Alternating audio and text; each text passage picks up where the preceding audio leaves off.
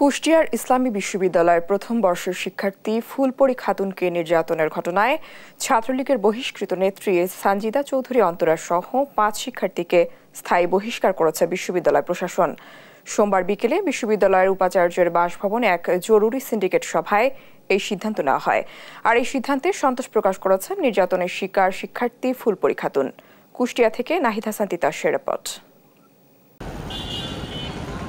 গত বারোই ফেব্রুয়ারি রাতে কুষ্টিয়ার ইসলামী বিশ্ববিদ্যালয়ের ফিনান্স অ্যান্ড ব্যাংকিং বিভাগের প্রথম বর্ষের শিক্ষার্থী ফুলপরি খাতুনকে হলের গণরুমে ডেকে নিয়ে রাতভর অমানবিকভাবে নির্যাতন করে ছাত্রলীগ নেত্রী সানজিদা চৌধুরী অন্তরা সহ তার অনুসারীরা।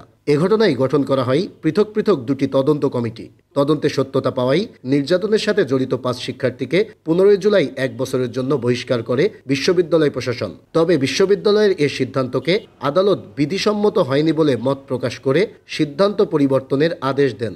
এর পরিপ্রেক্ষিতেই সোমবার বিকেলে বিশ্ববিদ্যালয়ের উপাচার্যের বাসভবনে এক জরুরি সিন্ডিকেট সভায় বসেন বিশ্ববিদ্যালয় প্রশাসন। সেখানেই পরিসংখ্যান বিভাগের শিক্ষার্থী সানজিদা চৌধুরী অন্তরা, চারুকলা বিভাগের হালিমা আক্তার উর্মি, আইন বিভাগের Ishrat Jahan Mim, finance and banking বিভাগের তাবাচ্ছুম ইসলাম ও একই বিভাগের মোয়াবিয়া জাহানকে স্থায়ী বহিষ্কারের সিদ্ধান্ত নেওয়া হয়। মহামান্য সুপ্রিম কোর্টের হাইকোর্ট বিভাগের নির্দেশনা পর্যবেক্ষণ বাস্তবায়ন করা হয়েছে। তারা আমাদেরকে নির্দেশনা দিয়েছিলেন তাদের আজীবন বহিষ্কার করার। সেটা আমরা আজকের এই জরুরি সিন্ডিকেট করে তাদের আজীবন বহিষ্কারের সিদ্ধান্ত গ্রহণ করা হয়েছে।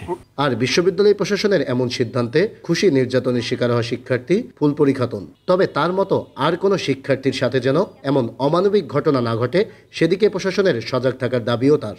আমার সাথে যারা নির্যাতনের ঘটনা ঘট- ঘটাইছিল। তাদের বিশ্ববিদ্যালয় প্রশাসন স্থায়ীভাবে বহিষ্কার ঘোষণা দিয়েছেন। এতে আমি সন্তুষ্ট। আমি প্রথম থেকে মানে আমি ন্যায় বিচার যেটা, সেটাই আমি প্রথম থেকে চেয়েছিলাম। আর আমি তো চাই যে আমাদের এই ক্যাম্পাসটা অনেক সুস্থ, সুন্দর, নিরাপদভাবে আমরা সবাই পড়াশোনা করি। আর যাতে কখনো এরকম কোনো অবিচার, অন্যায়, র্যাগিং এসব না হয়। আর আমরা সবাই সুন্দরভাবে এখানে পড়াশোনা করব মানে ভয় মুক্তভাবে আর এর জন্য আমি কৃতজ্ঞতা জানাই আমার বিশ্ববিদ্যালয় প্রশাসনকে কারণ তারা সর্বোচ্চ এবং সুস্থ ন্যায় বিচার করছে। এদিকে বিশ্ববিদ্যালয় প্রশাসনের এমন সিদ্ধান্তকে সাধুবাদ জানিয়ে সাধারণ শিক্ষার্থীরা বলছেন র্যাগিং মুক্ত নিরাপদ ক্যাম্পাস চাই তারা। আমরা তো প্রতিটি শিক্ষার্থী চাই র্যাগিং মুক্ত ক্যাম্পাস। যারা নতুন শিক্ষার্থী আসবে তারা যাতে নির্ভয়ে ক্লাস করতে পারে ক্যাম্পাসে আশেপাশে ঘুরতে পারে। এখানে বিভিন্ন মেন্টালিটির মানুষ বিভিন্ন মতাদর্শের আইডিওলজির মানুষ থাকবে। এক্ষেত্রে কেউ কারও আইডিওলজিতে বাধাগ্রস্ত হবে না এটাই হচ্ছে বিশ্ববিদ্যালয়। এটা থেকেই সাধারণ শিক্ষার্থীদের মধ্যে যে আতঙ্কটা এই আতঙ্কটা দূর হয়ে যাবে।